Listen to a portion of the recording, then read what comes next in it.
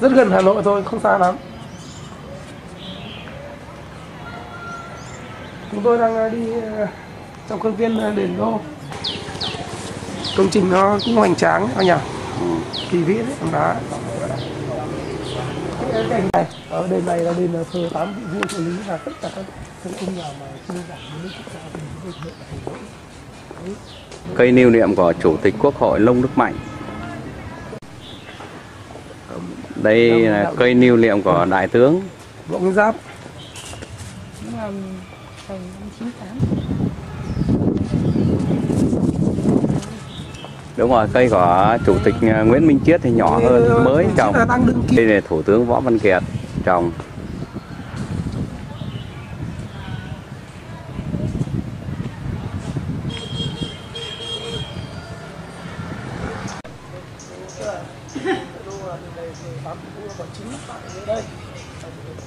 Là cây của Thủ tướng Phan Văn Khải.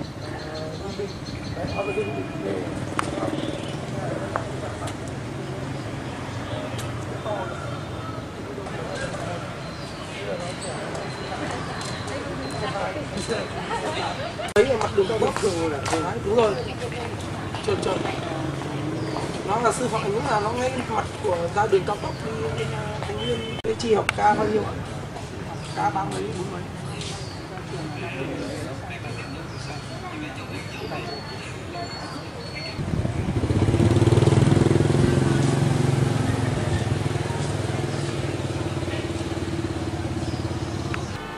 phòng trưng bày đền đô truyền thống và lịch sử những hình ảnh và hiện vật ở đây giới thiệu với chúng ta về triều lý vẻ vang về tấm lòng của nhân dân các miền đất nước đã về đây góp công sức tiền của xây dựng lại trên nền đền đã bị chiến tranh phá hủy hoàn toàn để đền đô hôm nay đã xong các hạng mục công trình một bằng chứng về sức sống Việt Nam, biểu tượng của chiến thắng mừng nghìn năm thăng long, Hà Nội. Cảm ơn quý khách đã về thăm đền đô nhân dịp xuân mới 2013 năm du lịch, các tỉnh đồng bằng sông Hồng, xin hãy để một ngày vui về với quê hương của Thái Tổ Lý Công ở cầu mong tiên đế vầng nhật nguyệt, sáng soi tâm trí chúng con đây, ban cho sức khỏe và hạnh phúc, trí tuệ, niềm tin vững cuộc đời.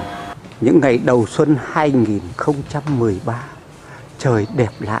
Đúng là đền đô kiến trúc tuyệt vời, thăng long đẹp đất đẹp người ngàn năm. Nơi đất thiêng này đã được đón những người con của tổ quốc. Từ thăng long, hà nội, thành phố hồ chí minh lạng sơn, hải phòng và nhân dân các miền đất nước. Trong đó có hội những người ủng hộ các nhà báo hải ngoại yêu nước cùng về đền đô dâng hương tưởng niệm bát vị tiên vương. Cùng thành kính đứng ở sân rồng, trung minh đường đấy, nơi đài sen bát nhã hương thơm đưa về, lòng thành kính cầm hương tưởng niệm bát vị tiên vương cầu mong tiên đế vầng nhật nguyệt, sáng soi tâm trí chúng con đây, ban cho sức khỏe và hạnh phúc, trí tuệ, niềm tin vững cuộc đời xuân mới. Cảm xúc như được nhân lên trong lòng dân tộc chúng ta, trong lòng những công dân tâm thiện, hành hương về nguồn. Cha ôi, được đứng ở sân rồng đền đô, một biểu tượng của chiến thắng, một bằng chứng về sức sống mãnh liệt của dân tộc Việt Nam anh hùng. Chiến tranh giặc phá giờ thắng giặc thù rồi, nhân dân lại hàng tâm hàng sản công đức xây dựng lại đền đô. Một biểu tượng của hào khí thăng long, đất đình bảng nghìn năm hương cổ pháp, hướng đồng thơm, gió nội đón người thân. Về đến đô lòng bừng bừng hào khí, cây đời xanh tươi bản sắc Việt Nam tuyệt vời. Đẹp sao? Bên cây đời xanh tươi là những tấm lòng tâm thiện. Người Việt Nam thiết tha yêu hòa bình và hạnh phúc về đền đô. Qua ngũ long môn, vào sân rồng, dâng hương tưởng niệm, bát vị tiên vương, thắp lửa niềm tin, yêu thương con người và cuộc sống. Khói hương cắm vào đây bay lên trời. Mong là những sợi dây để nối các dòng trí tuệ từ ngàn xưa đến bây giờ, cho những tấm lòng tâm thiện tiếp nhận được linh khí của đất trời luôn được dồi dào sức khỏe, hạnh phúc, an khang, thịnh vượng, thành đạt trong sự nghiệp.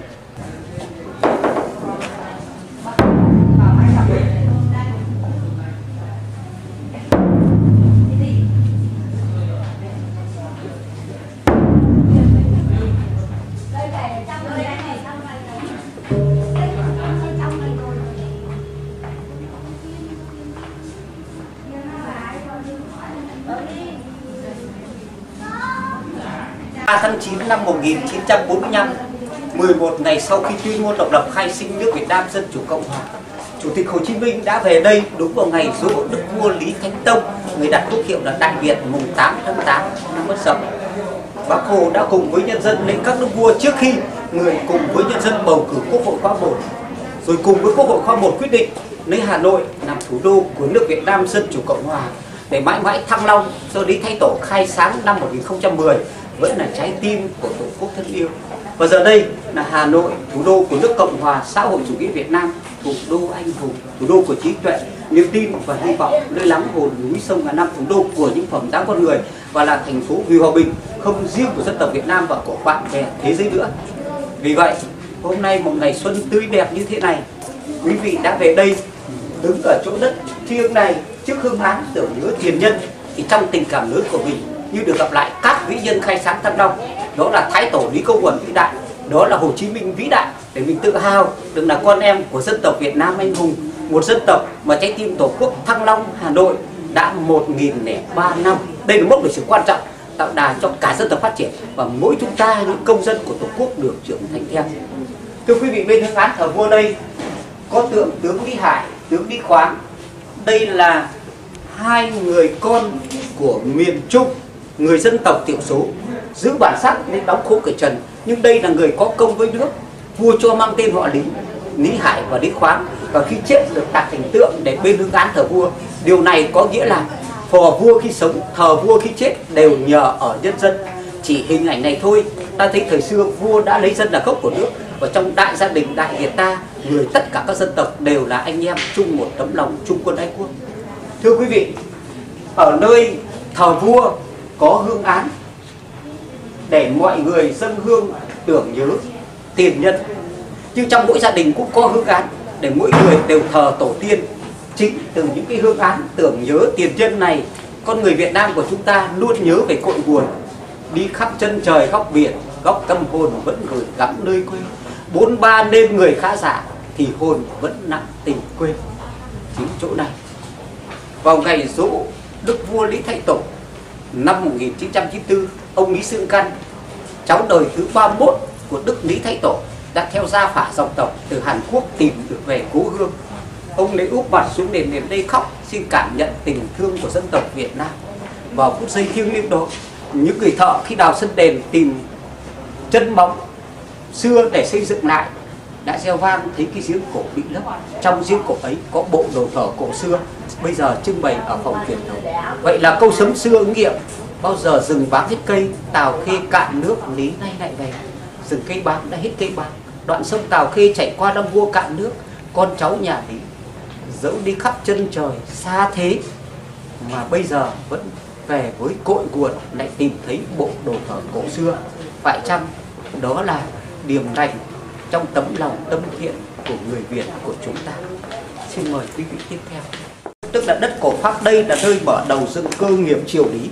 Vì chỗ đất thiêng này, liên hoa bát diệp, bát thụ bát long, địa linh nhân kiệt xuất nhập hanh thông, là chỗ mà năm 1010 ngay sau khi lên ngôi hoàng đế ở Hoa Lư Ninh Bình, Đức Thái Tổ Lý Công Uẩn đã về thăm quê. Lúc đó chỗ này chưa là đền đô, song vượng khí linh thiêng.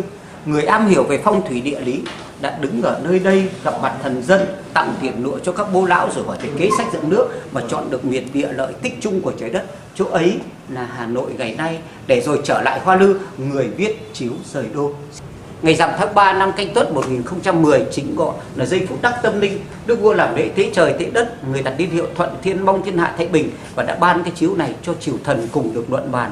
Trong đó nói rõ rằng vì mưu tính việc lớn, chọn đóng ở chỗ trung tâm, lo cho con cháu hàng muôn đức đời, chứ kính vâng mệnh trời, dưới làm theo ý dân, thích tiện lợi mới dậy đổi. Một nghìn lẻ ba năm đã qua, lịch sử bao sự thăng trầm, kinh đô mấy lần đổi tên, mấy lần đổi vị trí. Thăng long từng là đông đô dưới triều hồ, đông quan khi giặc vinh xâm lược, đông kinh thời lê sơ lê trung hưng, bắc thành khi tây sơn ra, và là hà nội năm 1831 do việc vua minh mệnh chuyển đô vào huế đổi thăng long là hà nội. Hà nội có nghĩa là vùng đất trong sông, nhưng dẫu mang tên là hà nội khéo khi thăng long vẫn được nhân lên trong lòng dân tộc chúng ta, trong lòng mỗi công dân tổ quốc. Điều lạ là, chiếu này có 214 chữ, ứng với 214 năm, tám đức vua thờ đền đô đã trị vì đất nước. Nhưng là để cho muôn nước đời con cháu, cho chính thể chúng ta hôm nay và con cháu chúng ta mai sau với sự kiện năm 2010 nhà nước và nhân dân ta đã tổ chức đại lễ kỷ niệm 1.000 năm Thăng Long Hà Nội thì như thế tức là chiếu giới đô của Lý Thái Tổ đưa ra một sự báo chính xác về địa lý chiến lược, địa lý chính trị, địa lý kinh tế, địa lý văn hóa vì chính thế chúng ta hôm nay và con cháu chúng ta mai sau. Bức ảnh này tôi chụp vào dạng sáng ngày 1 tháng 9 năm 1998. Hôm đó, theo lời mời của bà Phó Chủ tịch Ủy ban nhân dân thành phố Hồ Chí Minh tham gia vào ngày hội non sông hướng tới nghìn năm Thăng Long Hà Nội. Bà Phương Thảo yêu cầu là đền đô sẽ phải tổ chức một cái lễ rước rất sớm từ đây đưa về thủ đô Hà Nội. Do đó trong đêm tối dân làng chúng tôi tập trung rất đông ở sân rồng, ở dâng hương rồi rước kiệu, rước ngựa, rước hương án thờ vua từ ở đây về Thăng Long Hà Nội để tham gia ngày hội non sông hướng tới nghìn năm Thăng Long. Khi mọi người tập trung ở sân rồng đầy đủ dưới đèn neon, quan viên tế nổi trống chiêng mọi người lễ tự nhiên trời vàng rực và tôi thấy một áo người rồng vàng từ phía Hà Nội bay về. Lúc đó bằng máy cơ phim nhựa màu tôi đã kịp chụp được bức ảnh này.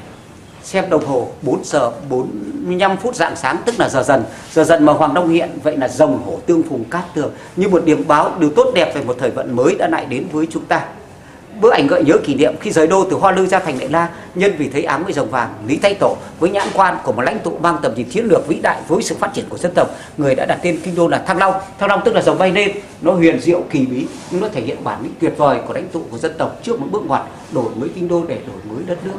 Nay áng với rồng vàng hiện đại là chuyện tốt lành.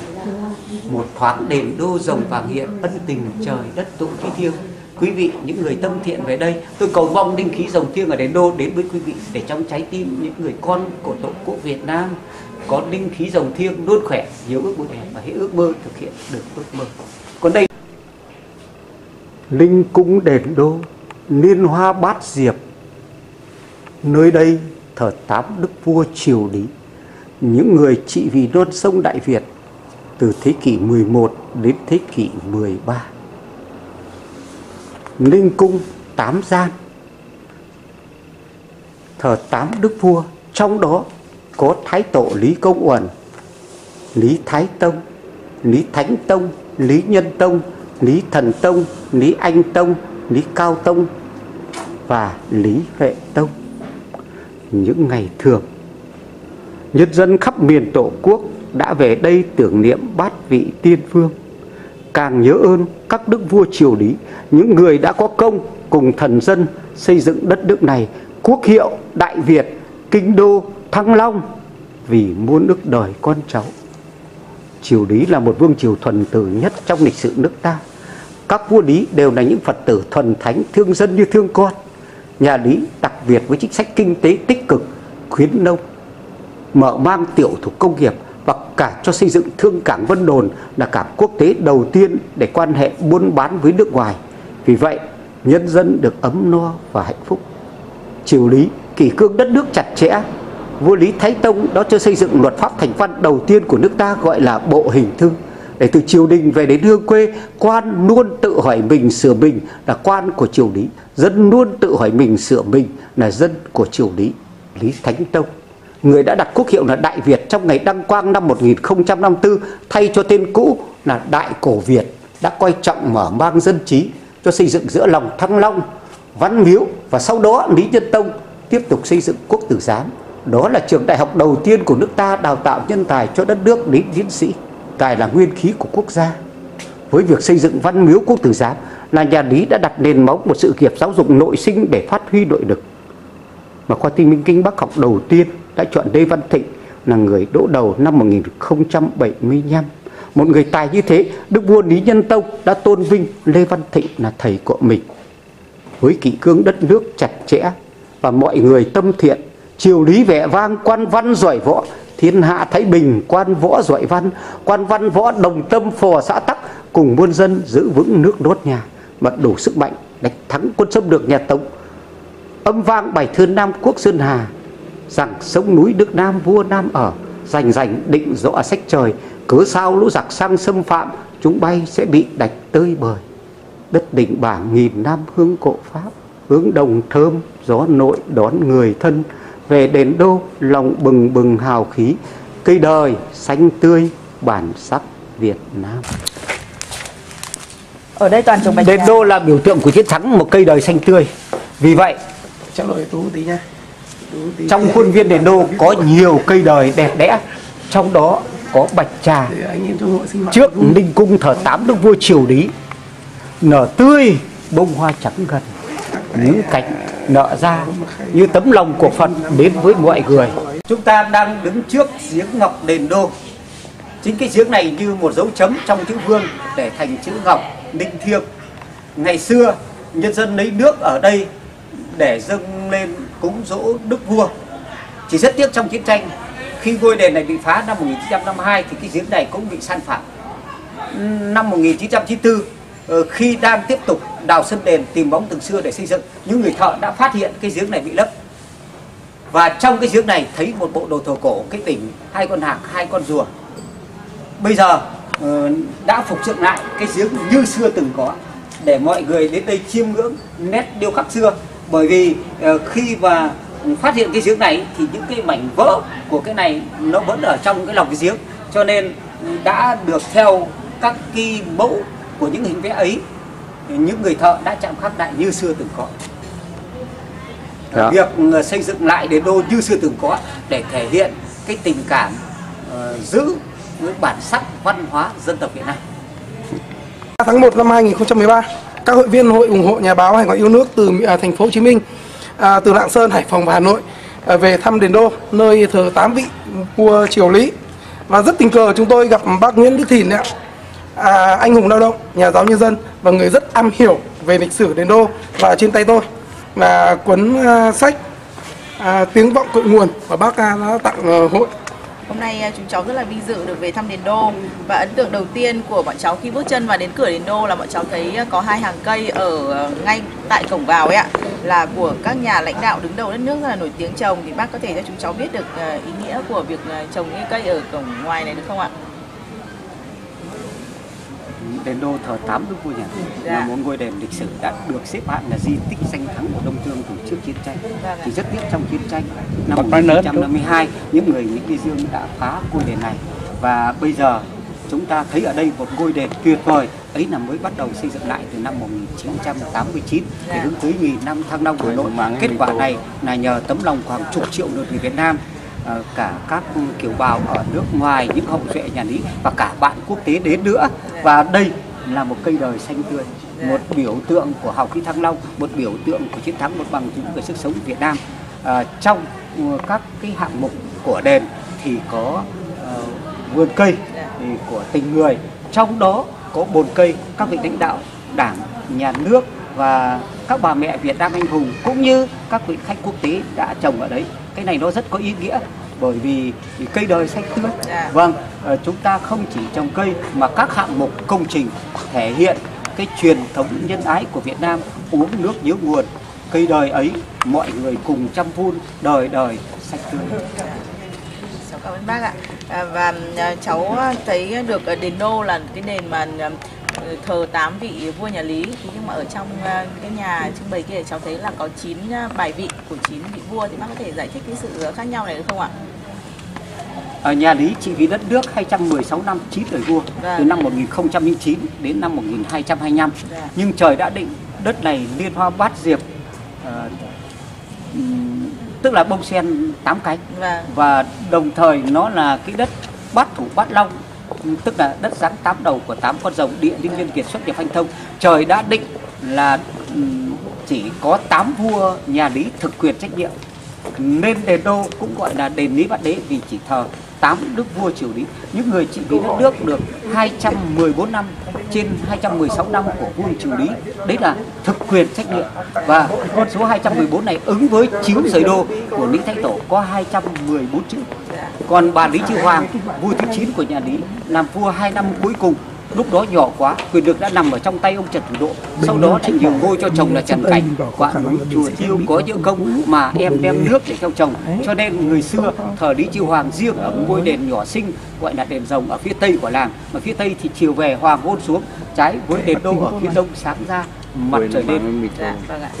Quyển sách Tiếng vọng cội nguồn này gồm những bức ảnh tôi chụp theo tâm linh và chụp theo ý thơ và những bài thơ lại viết theo ảnh chụp được. Đó là những bức ảnh linh thiêng về đền đô, về cả cụm di tích lịch sử trên quê hương vua lý anh hùng, về những gương mặt tâm thiện ờ, hành hương về nguồn, những tấm lòng nhân ái, uống nước nhớ nguồn ờ, xây dựng và bảo vệ tổ quốc. Tình cảm lớn là nghìn xưa đại việt thăng long, nghìn sau sáng đẹp con rồng việt nam. Tôi muốn ờ, đưa ra một thông điệp. Âm vang tiếng vọng cội nguồn trong nam ngoài bắc tình dồn về đây.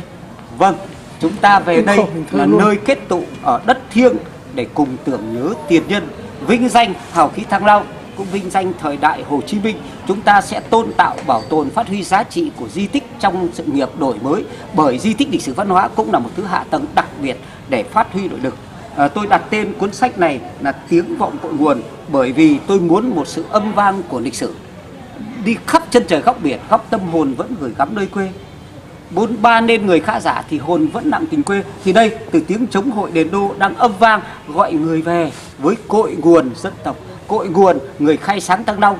Để hào khí thăng long ấy thấm trong máu tim ta động trong trí não của mỗi người chúng ta chúng ta sẽ khỏe lên, khát vọng đẹp, nhiều ước mơ. Hãy ước mơ thực hiện được ước mơ. Nhân dịp này thì các bạn là những người tâm thiện ở với đất nước hòa bình hạnh phúc và phát triển tôi tặng cuốn sách này thì trong tâm linh mong muốn mọi người Việt Nam ở trong nước ngoài nước đều yêu thương trách nhiệm để xây dựng và bảo vệ vững chắc tổ quốc ta hòa bình hạnh phúc cho mọi người mọi nhà Ờ, xin ờ, cảm ơn bác chúc sự Vâng, tốt chúc, đẹp vâng, Dạ, chúc bác dạ. ờ, anh em cháu chúc bác ờ, sức khỏe mặt Vâng. ờ, hội ạ, bọn cháu ờ, kính chúc bác một năm mới ờ, dồi dào sức khỏe ạ. Vâng, tôi xin được cảm ơn chúc các bạn và chúc tất cả những người xem cái hình ảnh này ai cũng khỏe mạnh luôn hướng về tổ quốc chúng ta quyết bảo vệ và xây dựng đất nước này Vâng ạ. vững chắc trong sự nghiệp đổi mới này Dạ. Vâng. Cảm ơn bác ạ. Rồi, vâng, cảm ơn.